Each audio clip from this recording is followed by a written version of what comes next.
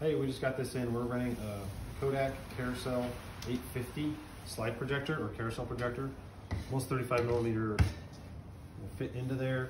These are such really cool old uh, family photos of my wife's and they're super special to us. So I think it'd be nice if you could rent it out.